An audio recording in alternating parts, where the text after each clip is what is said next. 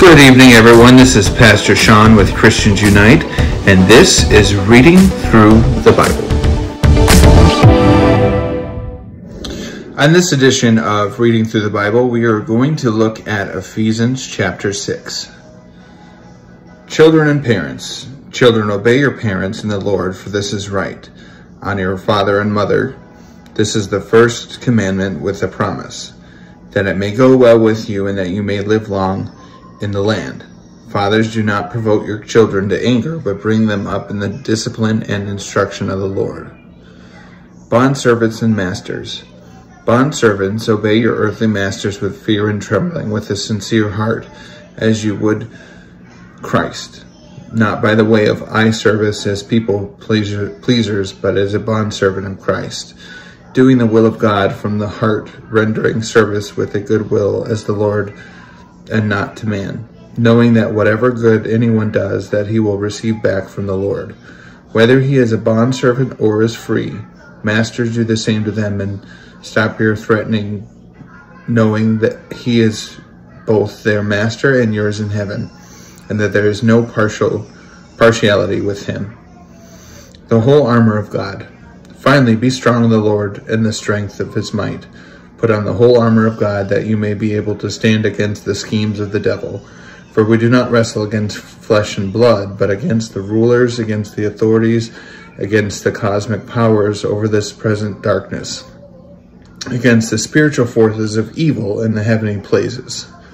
Therefore take on the whole armor of God, that you will be able to withstand the evil day, and having done all, to stand firm. Stand therefore, having fastened on the belt of truth, and having put on the breastplate of righteousness as the shoes for your feet, having put on the readiness given by the gospel of peace. In all circumstances, take up the shield of faith, which you can extinguish all flaming darts of the evil one, and take the helmet of salvation and the sword of the Spirit, which is the word of God, praying at all times in the Spirit with all prayer and supplication. To the end, keep all alert with perseverance, making supplication for all saints and also for me, that words may be given to me in opening my mouth boldly to proclaim the mystery of the gospel, for which I am the ambassador in chains, that I may declare it boldly as I ought to speak. Final greetings, so that you also may know how I am and what I am doing.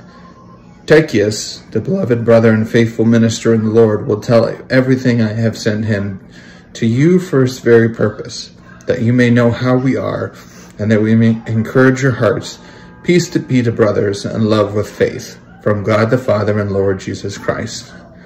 Grace be with all who love the Lord Jesus Christ with love incorruptible. So the first part of chapter 6 is very clear. Um, it's a message to children to obey their parents and for parents to discipline their children but not provoke the children to anger. So we need to be respectful of our authorities that are over us, but also do it in a respectful way. The second part, this is a very, um, one of the chapters in the Bible that I really enjoy. Um, it's about the pieces of the armor.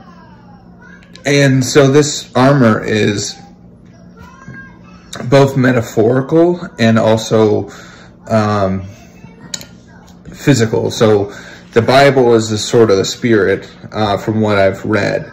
Um, so if you stay in the Word, um, you are basically sharpening your sword.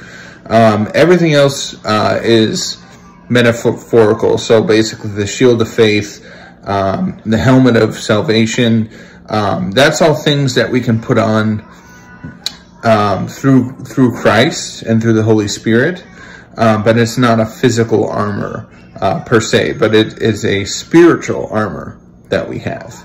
Um, so it's really important. And then the end of this chapter is just a message from uh, Paul um, to the church. So thank you for listening to this edition of Reading Through the Bible.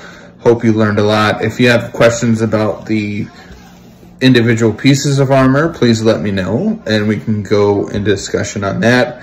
Um, also, in the past, I have done a uh, sermon on the armor of God. Um, I may do that again at some point, but uh, again, thank you for listening. Have a wonderful day.